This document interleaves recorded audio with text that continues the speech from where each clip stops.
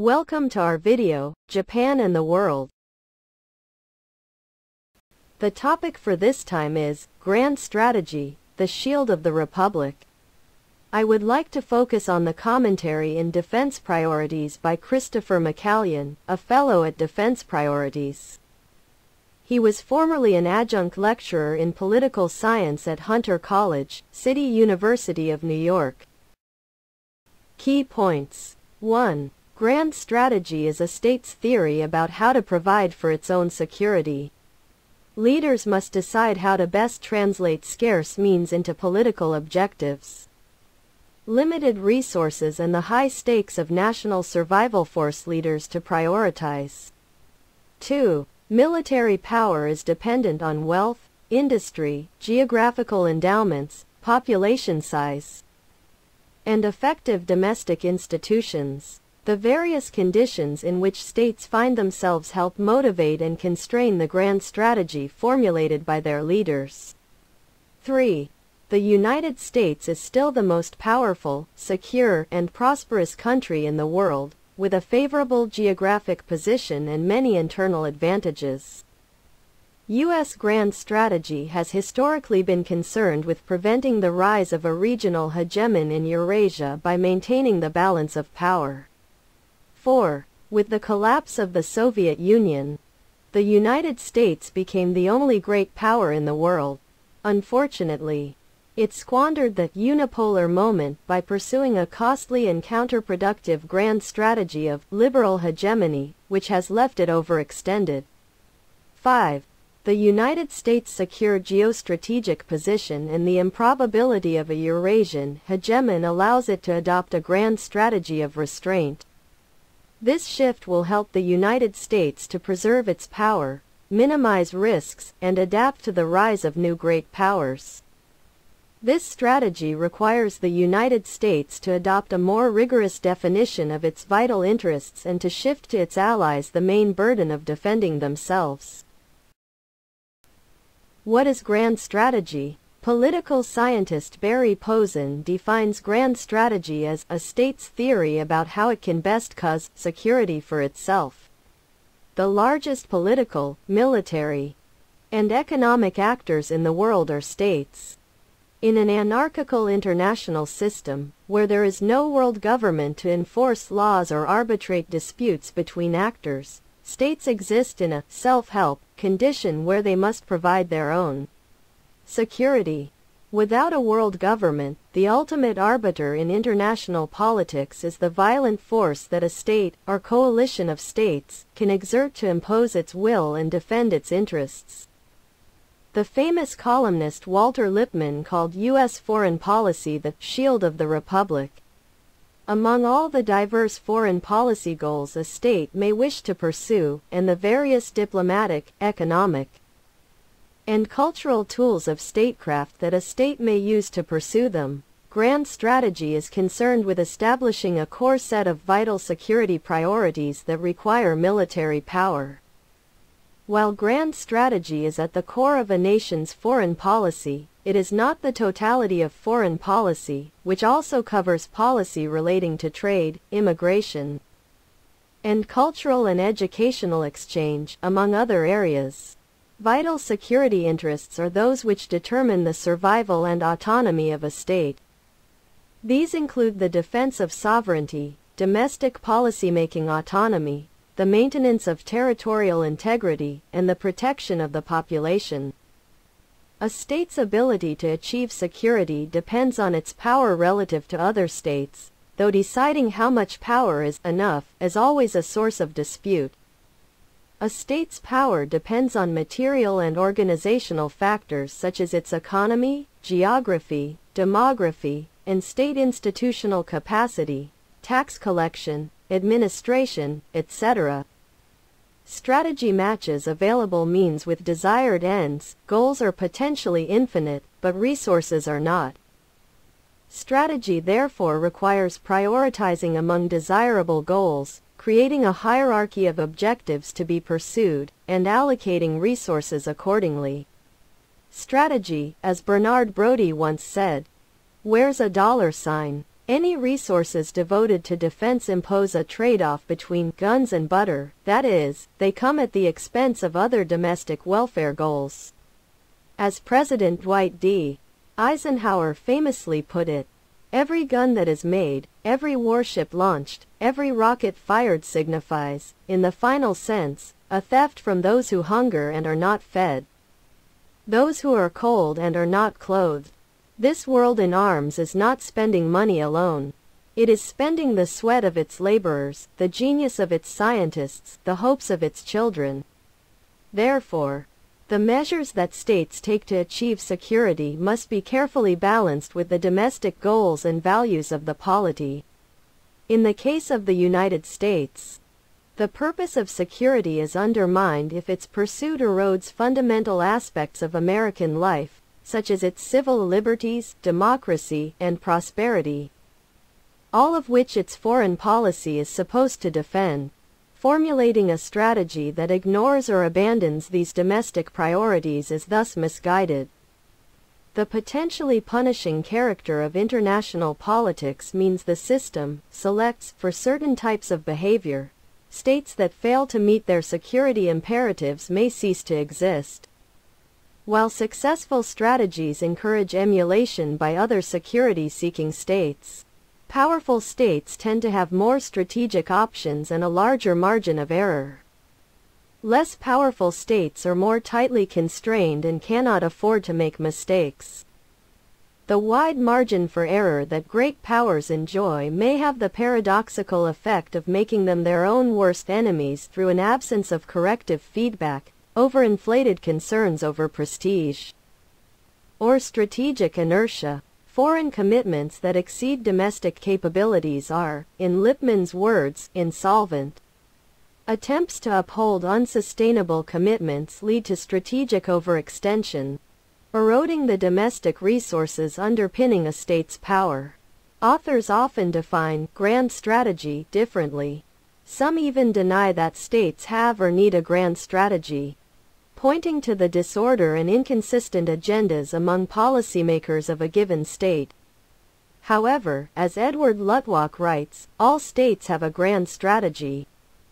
Whether they know it or not, policymakers tend to share a set of common assumptions and perceptions, informing a general causal theory about security policy. That a grand strategy is contested, unarticulated, or poorly realized does not mean it is absent. The United States is required by law to release regular statements of purpose pertaining to its grand strategy, the national security strategy and the national defense strategy.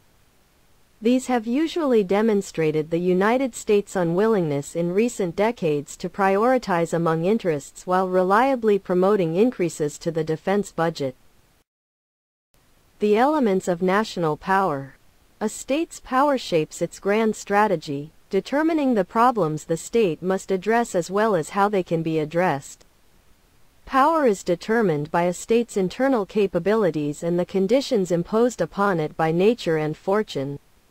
In Martin Scorsese's crime film The Departed, Jack Nicholson's character, a ruthless mob boss, says, I don't want to be a product of my environment. I want my environment to be a product of me.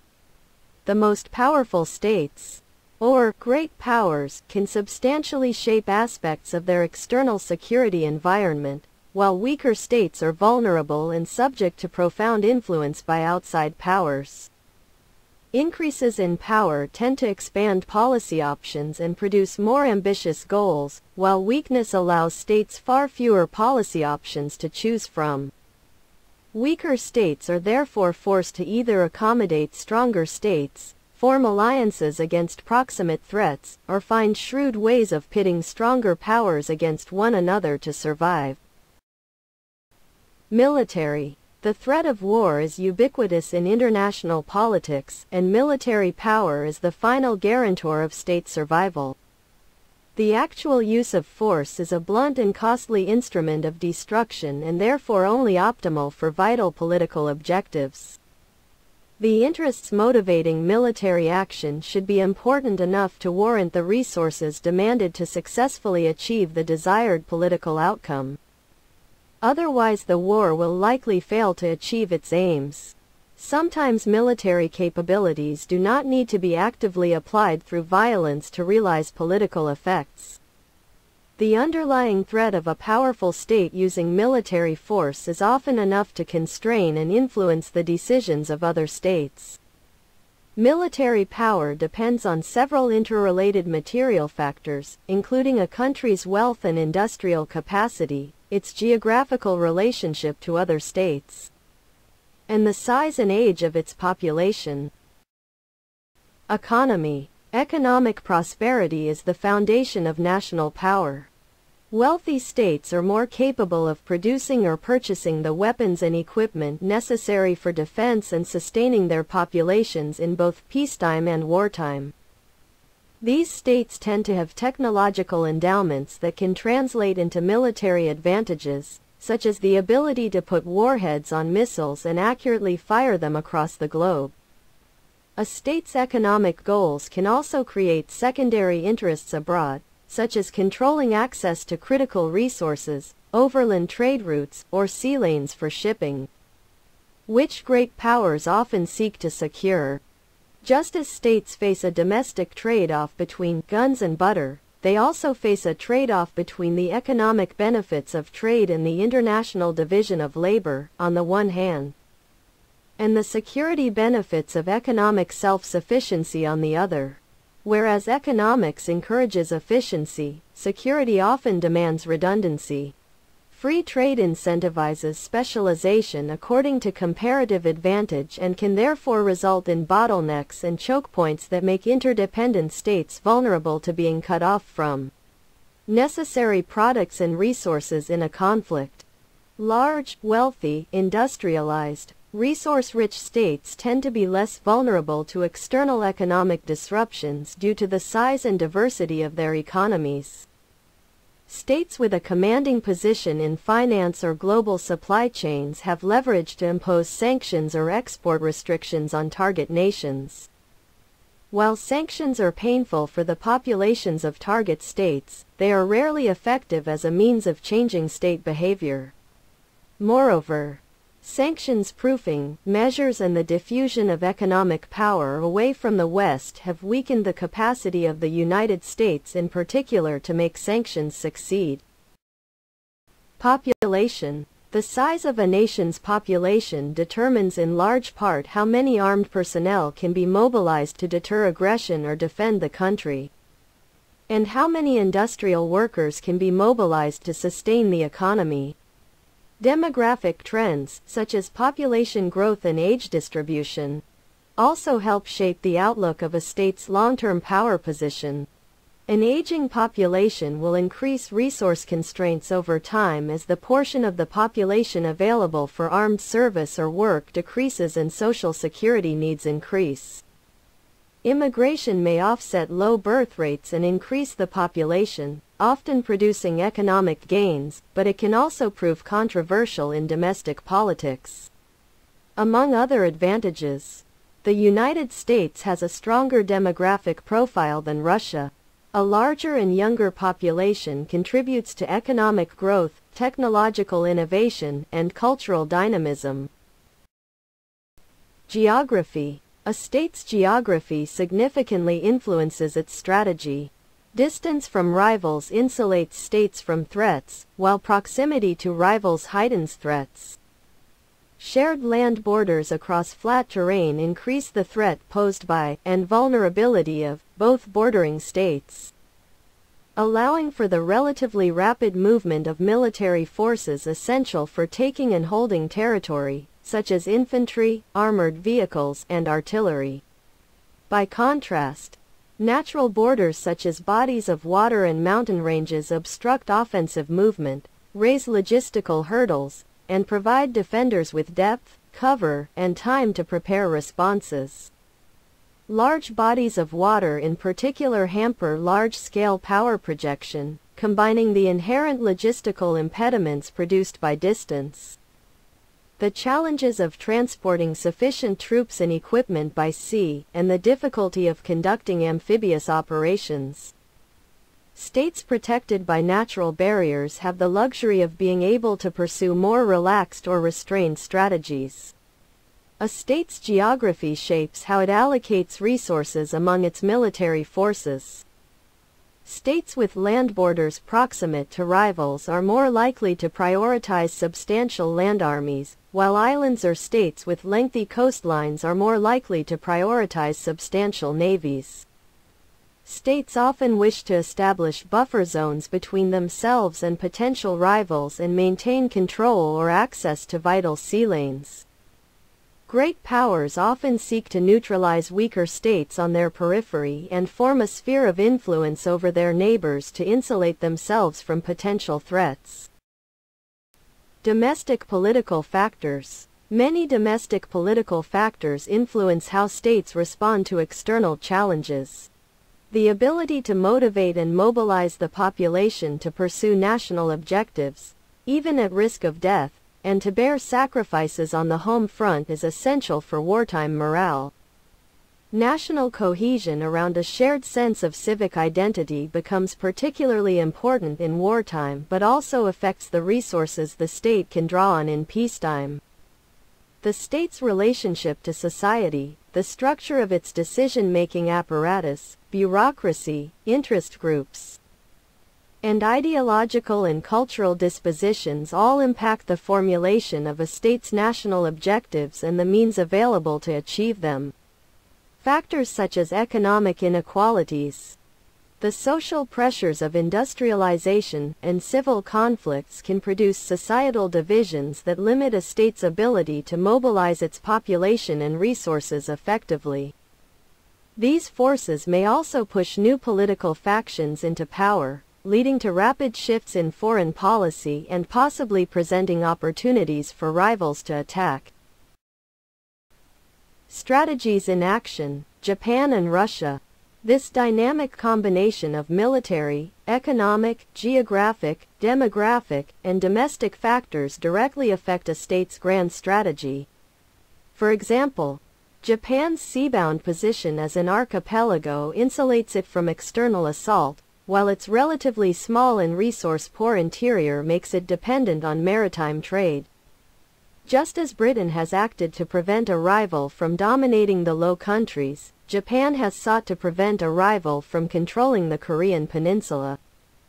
Japan's industrialization following the Meiji Restoration in 1868 created demand for raw materials from abroad and encouraged the construction of a major naval fleet, leading Japan to achieve great power status after defeating Russia in 1905.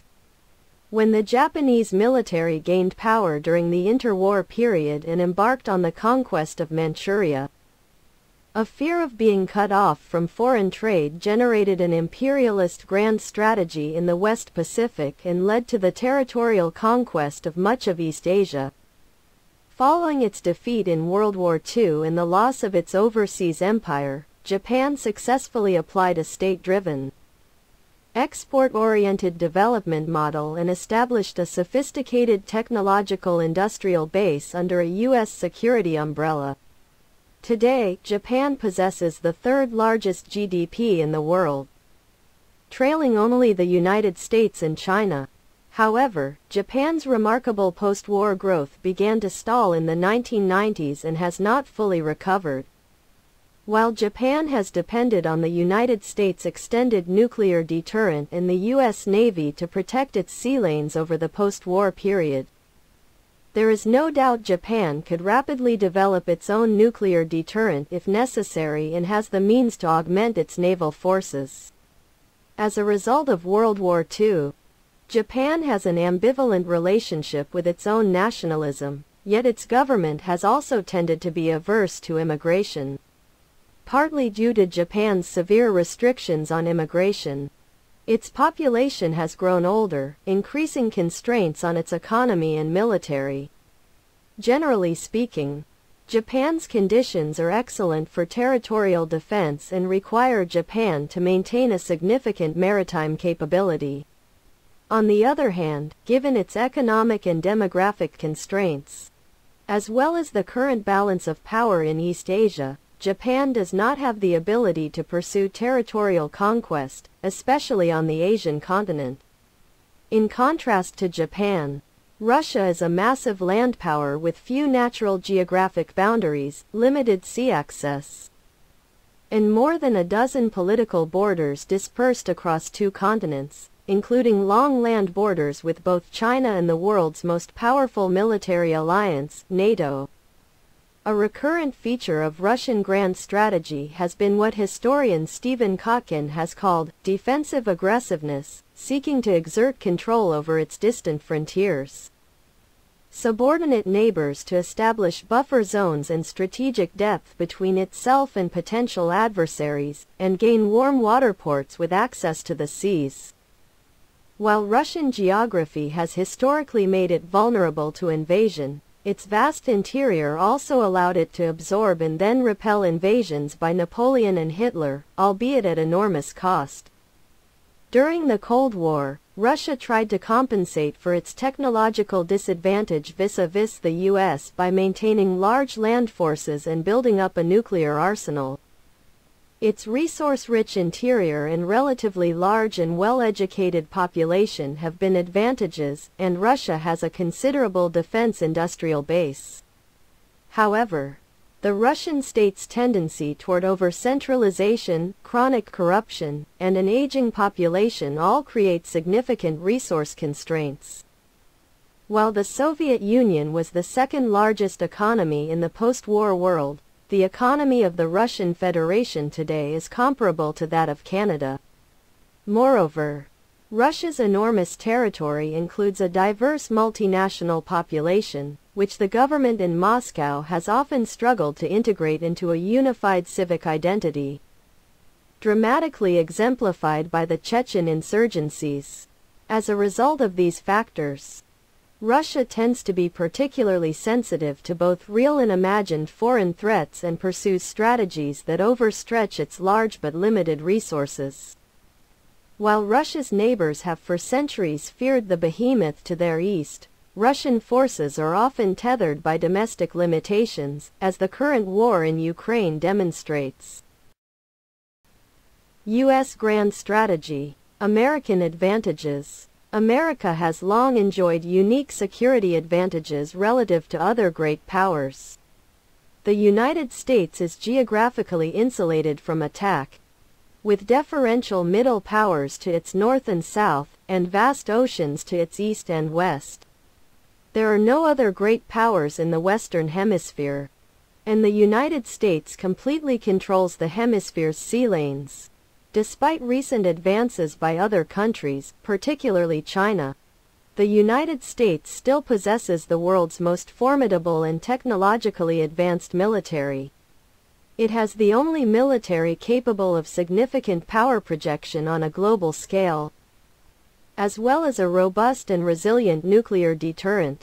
The United States also possesses intelligence services with unparalleled capabilities and reach to wit, in 2022.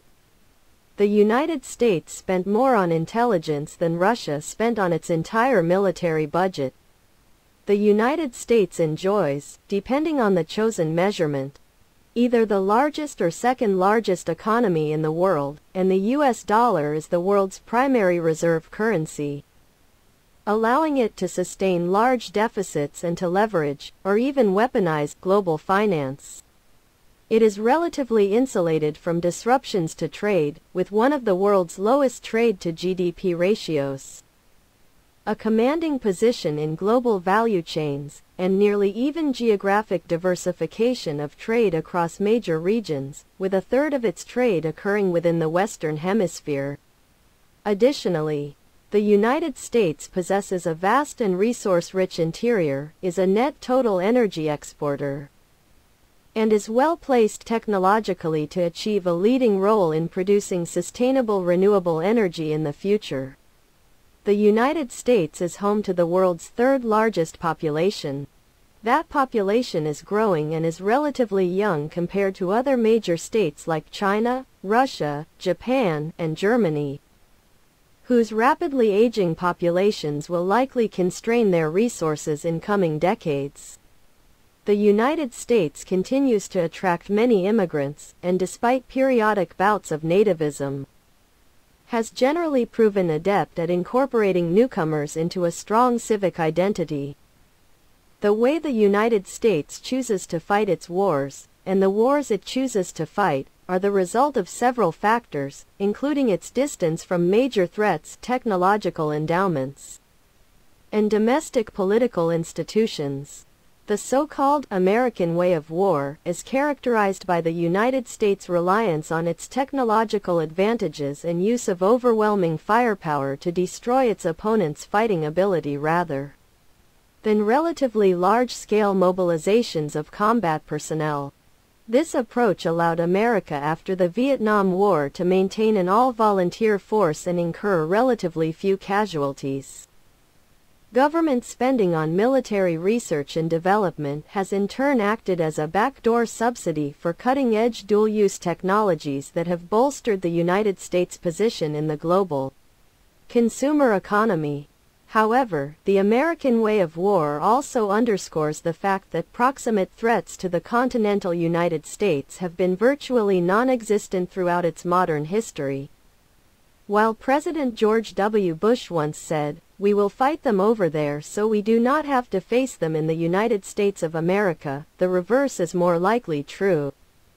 We can fight them over there because we do not have to face them in the United States of America.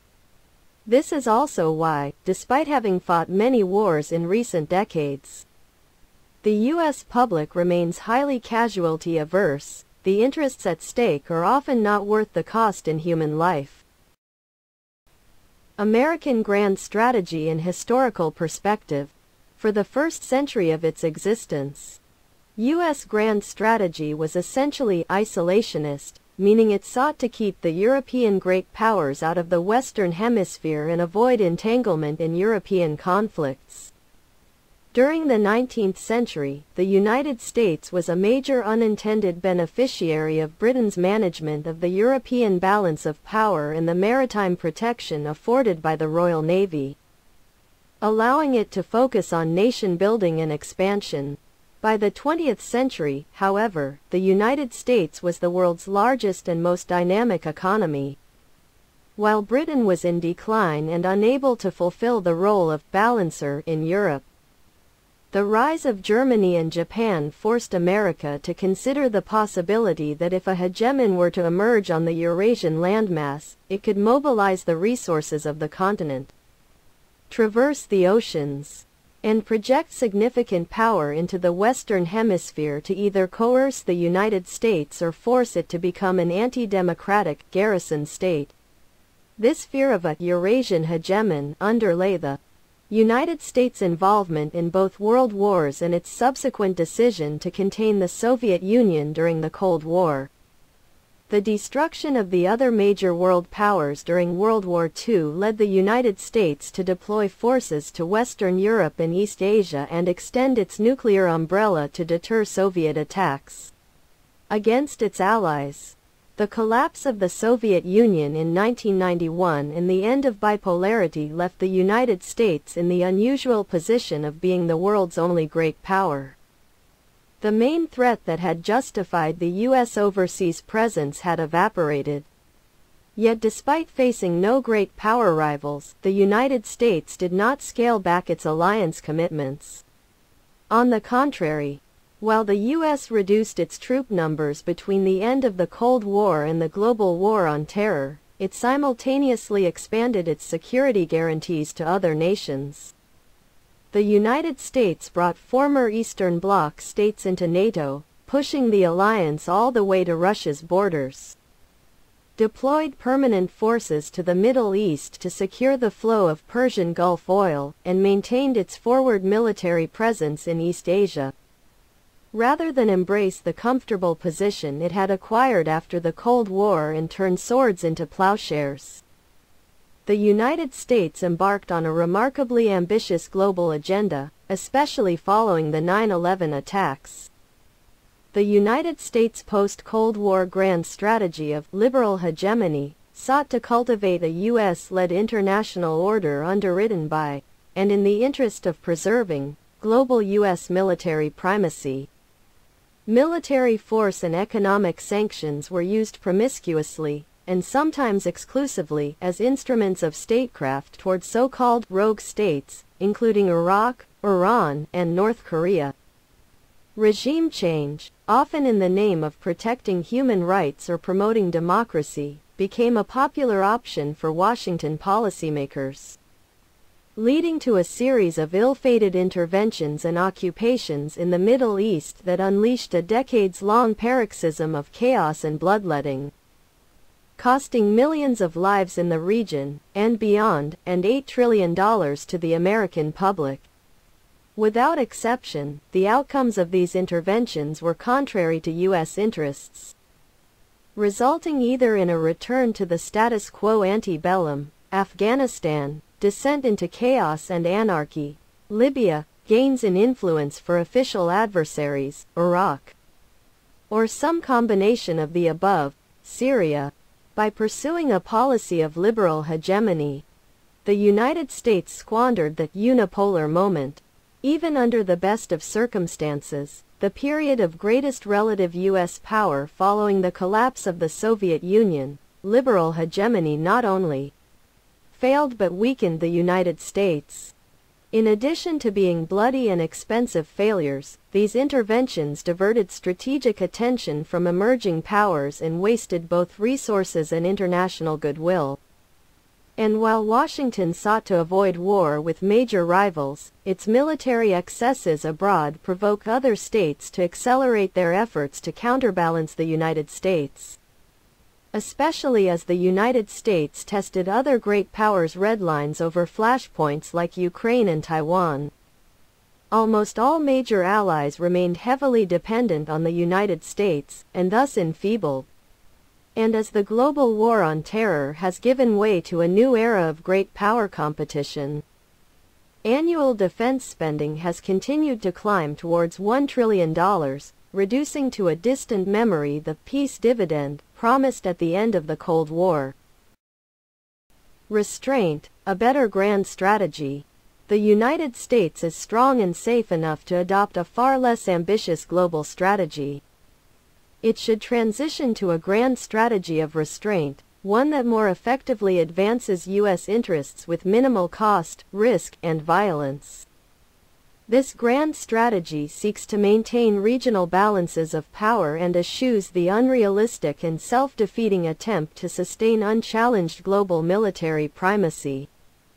Restraint would make full use of the United States advantages while minimizing liabilities and would induce wealthy and capable allies to assume primary responsibility for their own defense, rather than keep them dependent on the U.S. security umbrella. Given its excellent power position and geographic insulation from the great powers of Eurasia, the United States remains the most secure and powerful state in world history. This gives the United States the latitude to pursue a more flexible grand strategy than other states. By maintaining permanent military commitments around the globe in a futile attempt to substitute for a world police force, the United States squanders its natural advantages, drains its resources, and provokes unnecessary dangers. Restraint, by contrast, would allow the United States to gracefully adapt to the rise of new powers in the decades to come, while still protecting its vital strategic interests. Because a strategy of restraint focuses on vital national interests rather than overly ambitious projects disconnected from U.S. security. It would cost far less and would reduce defense spending considerably. However, it would also do a better job than the current grand strategy of sustaining the United States' long-term power position by reallocating national resources more effectively. Restraint would scale back the United States overseas bases and land forces, instead privileging a powerful navy able to respond to regional contingencies, if necessary. With an increased emphasis on relatively survivable submarines. Restraint would also seek to preserve U.S. advantages on an increasingly integrated battlefield that includes cyberspace and outer space and would continue to invest in the United States scientific research base. Restraint would not only reduce the risks and costs shouldered by the United States, but also it would allow policymakers to focus more attention on domestic needs. It would remove a pretext for the erosion of civil liberties that has accompanied the growth of a large national security state, such as the disturbing ubiquity of domestic surveillance since the 9-11 attacks. As the world shifts toward a multipolar distribution of power, where several great powers populate the international system, the grand strategy pursued by the United States during that unipolar moment has become increasingly risky and self-defeating. The Sino-Russian Entente and the refusal of much of the world to align with the United States and its allies over the war in Ukraine demonstrate an increasingly sharp challenge to U.S. pretensions to global leadership. Moreover, the material basis for U.S. primacy has significantly eroded. Whereas the United States accounted for about half of the world's economic output at the end of World War II and maintained an economy twice the size of the Soviet Union's throughout the Cold War. It currently accounts for less than a quarter of world GDP and maintains approximate economic parity with China and the EU. This reality constrains U.S. policy options and requires greater stewarding of its vast but finite resources. Though the transition to multipolarity presents challenges and risks, it also presents opportunities. Multipolarity is inherently advantageous to the United States because it encourages Eurasian great powers to devote strategic attention to each other while the United States remains distant and insulated in the Western Hemisphere. This contradicts the conventional wisdom espoused in Washington since the end of the Cold War. But it aligns with strategic thinking in the balance of power tradition that has guided wise policymaking for centuries. Maintaining permanent alliances underwritten by forward deployed forces encourages wealthy states, like Japan and Germany, to remain security dependents rather than become capable independent actors in their own regions, forcing the United States to accept the risks and costs of deterring threats on their behalf and put itself at risk of entanglement in otherwise avoidable conflicts. Furthermore, dependence on the United States renders deterrence in those regions less credible, and therefore less resilient, than if its capable allies directly provide for their own defense. The inherent incredibility of extended deterrence has therefore historically encouraged American policymakers to fight unnecessary wars in the global periphery in an attempt to indirectly demonstrate U.S. resolve in regions of core interest, or at least to claim that as a rationale for foolish and unnecessary wars abroad. These wars, such as in Vietnam, generally entail high costs for trivial interests driven by the dubious hypothetical causal chains of domino theories. Restraint would have the United States primarily rely on regional balances of power among local actors to prevent the emergence of a Eurasian hegemon rather than directly manage and stabilize the security of far-flung regions through a significant overseas military presence. In the unlikely event that a potential hegemon emerges and cannot be balanced by regional powers, the United States could then choose whether and how it acts to restore the balance. With the accumulated benefit of having husbanded its resources, states like Japan and Germany want to maintain their independence, not become vassals of China or Russia. It is safe to assume they will take on the lion's share of responsibility for their own defense if threatened and if the United States stops discouraging them from doing so. By making clear it intends to reduce or remove its forward deployed forces. The United States would incentivize capable allies to bolster their own defenses out of their inherent interest in self-preservation. While the United States faces risks of its own making, Owing largely to its overextension abroad, the direct risks it faces from other great powers are remote. The gravest potential security threat would be if China could dominate Asia and project power into the Western Hemisphere. While theoretically possible, This scenario is not probable given the obstacles China faces. These include the challenge of mounting large-scale amphibious operations, the presence of regional actors capable of balancing against China, the accessibility of relatively low-tech and inexpensive defensive systems, the durability of the United States Navy and nuclear deterrent, and formidable domestic challenges in China itself, such as demographic decline, slowing economic growth, technological challenges and inland security problems. The danger to the United States of a Eurasian hegemon, while not entirely negligible, is considerably dampened by the existence of nuclear weapons and historically diminishing returns to conquest. The strength of nuclear deterrence makes the conquest of a major nuclear-armed state's territory virtually impossible, as a nuclear war would leave little left to conquer, and no one left to conquer it.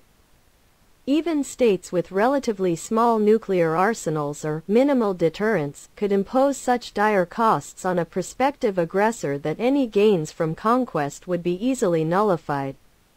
Furthermore, the relative significance of conquering territory to seize foreign industrial regions, extractable resources, or land for agriculture and population settlement has diminished over time.